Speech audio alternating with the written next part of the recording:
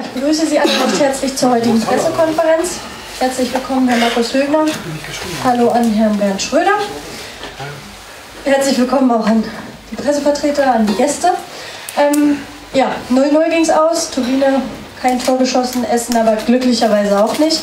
Ähm, ja, das erste Wort gehört wie immer dem Gästetrainer. Mit dem einen Auswärtspunkt zufrieden oder eher nicht?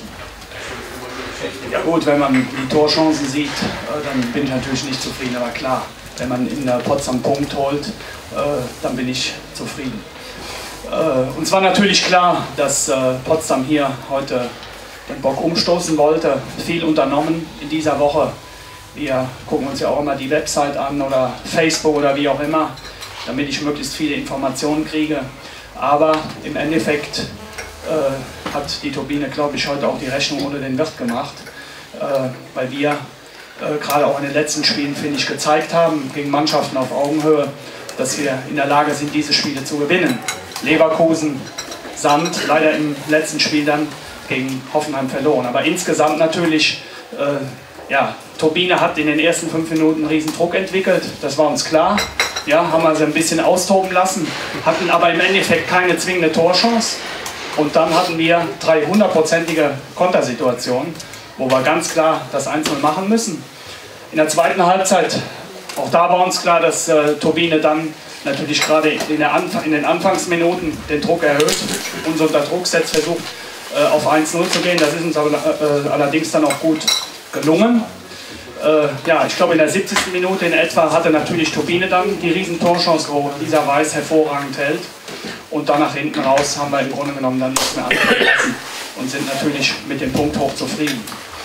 Ich habe auch hier in eurem oder auf eurer äh, Seite, Internetseite gelesen, dass Essen nicht so einen guten Start hat. Wir haben natürlich andere Ansprüche als die Turbine. Wir können mit drei Siegen und einem Unentschieden gegen Mannschaften auf Augenhöhe 100% le leben. Und man muss natürlich auch sagen, dass die Liga inzwischen so eng ist.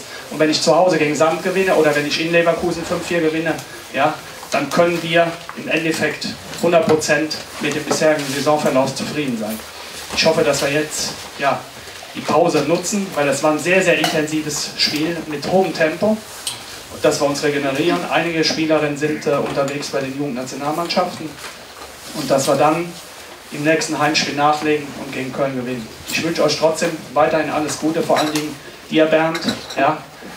Ich kenne das, ja, wenn die ganzen Zecken aus den Löchern kommen, wenn man verliert, aber gehört dazu, ist unser Job, müssen wir alle mit leben. Ich bin froh, dass wir schon 10 Punkte am Konto haben. Danke. Danke. Herr Schröder, was sagen Sie zum Spiel? Ja, Markus hat schon gesagt, die Chancen waren verteilt. Wenn es 2-2 oder 3-3 ausgegangen wäre, hätte man auch nicht können sagen. Und das ist ja die Krux der Geschichte, dass wir jetzt im vierten Spiel kein Tor geschossen haben. Und da zeigt sich eigentlich, wo unsere Qualität zurzeit liegt, nämlich nicht im Sturm. So könnte man sagen, wir müssen neue Spieler holen oder irgendwas anderes machen oder so ein Scheiß. Äh, da wollen wir gar nicht drüber reden. Wir müssen mit den Leuten, die wir hier haben, auskommen und wir müssen einfach jedes Spiel neu angehen. Und man hat ja heute gesehen, dass das Normale ist, dass so eine Mannschaft dann auch mit Kampf und mit Leidenschaft ins Spiel geht und natürlich dann versucht, äh, auch die Tore zu machen. Aber es ist, ist im Moment haben wir die Balance nicht gefunden zwischen spielerischen Möglichkeiten und, und, und, und kämpferischen. Und das haben wir früher mal gehabt. Das liegt natürlich nicht an den Spielern allein, sondern an der ganzen, der ganzen Situation in der Liga. Markus hat gesagt, die anderen schlafen ja nicht. Ich denke nur, man, man, man muss da ganz vorsichtig sein mit Kritik. Und ich habe in dieser Woche habe ich mir mal alles durchgelesen, was so geschrieben wird und gesagt wird und drum und dran. Ich habe nichts gegen Kritik. Aber ich vermisse den Wert der Kritik in bestimmten Situationen. Und deshalb kann ich mit bestimmten Dingen überhaupt nicht einverstanden sein. Wir müssen uns auf das konzentrieren, was wir jeden Tag machen. Und wenn Leute äh, so tun, als wenn sie wüssten, was bei Turbine los ist, und irgendwelche Dinge, die vor 10, 15 Jahren mal von irgendeiner Spielerin gesagt wurden, als das zurzeit aktuelle sagen, dann tut mir das außerordentlich leid. Ich denke schon, dieser Verein und diese Mannschaft ist anders aufgestellt als vor zehn Jahren, obwohl die Spieler, die dann weggegangen sind, haben Champions League und Meisterschaft und alles geholt. Und das ist eine andere Situation. Wir müssen mit unseren Spielern klarkommen. Wir haben Vertrauen zu den Spielern. Ich denke, das Schlimmste, was man jetzt machen kann, alles auf die Spieler schimpfen oder auf, auf andere Leute oder neue Leute holen oder solchen Quatsch. Äh, das ist nicht unser Ziel. Wir haben von Anfang an gesagt, das ist unsere Mannschaft und dazu müssen wir stehen.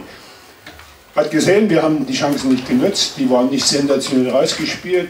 Wir haben alles versucht, wir haben die Mannschaft hier und da mal verändert, was einigen Leuten auch nicht gefällt, weil sie gar nicht wissen, wie unsere Spieler überhaupt funktionieren. Ne? Wenn dann einer sagen muss, die muss da und da spielen, Markus könnte das auch, äh, dann hat er keine Ahnung. Ich muss ehrlich sagen, wir wissen, wo unsere Spieler ihre Stärken haben und das spielen die im Moment. Mehr ist da einfach nicht drin.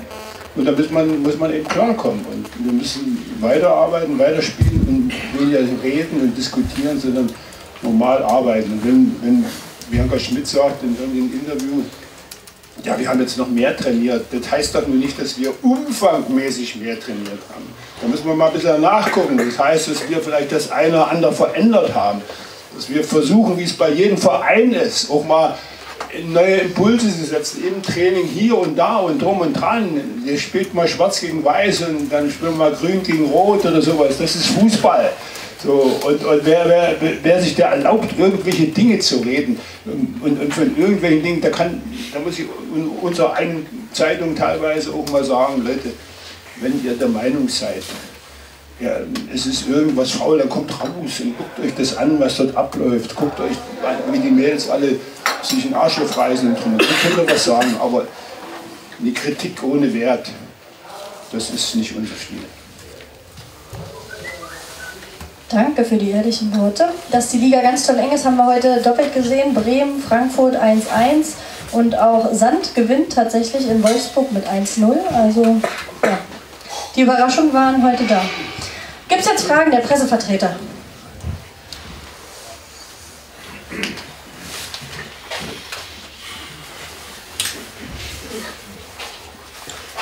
Eine Frage an den Gästetrainer. Äh, wie gelingt es Ihnen immer hier in Potsdam, Ihre Mannschaft so gut einzustellen? Haben Sie dann sonst Rezept? Ja gut, äh, in den letzten Jahren haben wir ja hier letztendlich immer verloren. Also von daher äh, haben wir dann, äh, oder habe ich die Mannschaft dann doch nicht so gut eingestellt. Aber klar, wir hatten, wir hatten auch Zeiten, haben wir immer knapp verloren. Äh, DFB-Pokal, dann auch in der Meisterschaft. Äh, gut, aber, aber im Endeffekt, äh, uns war halt heute wichtig, also es ging weniger um Potsdam, das war einfach äh, ja, die letzte Niederlage zu Hause wettmachen. Und äh, das war einfach, da waren wir, ja, wenn wir da gewonnen hätten, dann wären wir jetzt oben ganz eng dabei an der, an der Spitze. Und äh, ich habe einfach auf eine Reaktion der Mannschaft gehofft und äh, das haben wir heute gezeigt. Und dann war vielleicht ein Glück, dass wir dann heute gegen Potsdam gespielt haben.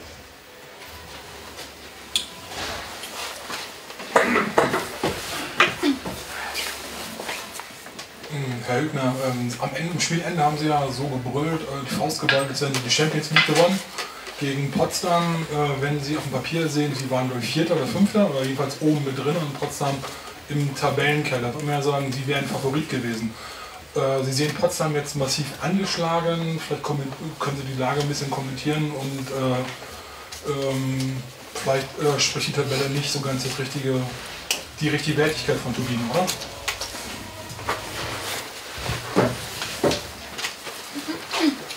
Ja, habe ich ja schon eingangs erwähnt. Äh, Turbine wollte heute den Bock umstoßen und wir haben viel unternommen. Und für mich ist nach wie vor Turbine eine Mannschaft, äh, die, die oben unter die ersten vier gehört.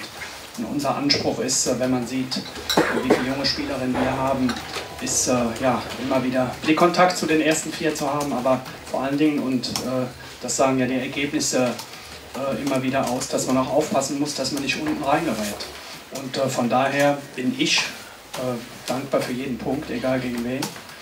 Und äh, ja, wenn man auswärts äh, hier 0-0 spielt, dann glaube ich, kann man schon zufrieden sein. Als Trainer von Essen.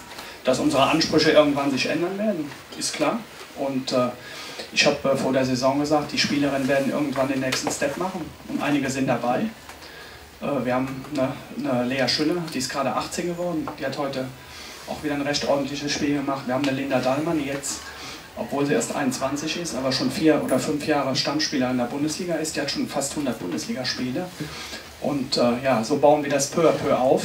Und diese Spielerinnen, die werden, wenn die dann fünf, sechs Jahre diese Erfahrung in der Bundesliga haben, werden die irgendwann auch die Fähigkeit haben, also werden die, die Spielerinnen Spitzenspielerinnen sein und dann haben wir durchaus auch den Anspruch, dann oben anzuklopfen. Aber die anderen Mannschaften investieren, ist auch ganz klar.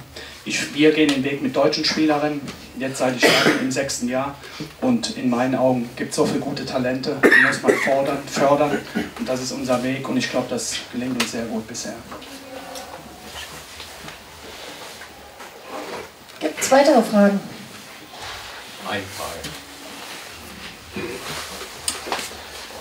Wenn man das also sieht, dass Sie junge Spielerinnen sehr stark ranführen, äh, aber Sie haben doch keine Eliteschule des Sports in, in Essen, oder, oder irre ich mich?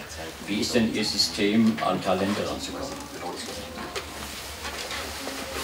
Ja gut, wir haben natürlich im Ruhrgebiet relativ viele, viele Mädels, die äh, Fußball spielen, deswegen haben wir da auch letztendlich eine, eine große Auswahl an äh, Talenten. Und äh, gerade dann im Nachwuchsbereich äh, haben, wir, haben wir inzwischen ein sehr, sehr gutes Scouting. Und wir versuchen halt mit den Möglichkeiten, die wir haben, versuchen wir das Optimale zu machen. Und äh, man darf auch nicht vergessen, heute hat noch eine Jana Feldkamp gefehlt, die ist 17. Die war in meinen Augen in den letzten Spielen überragend auf der 6.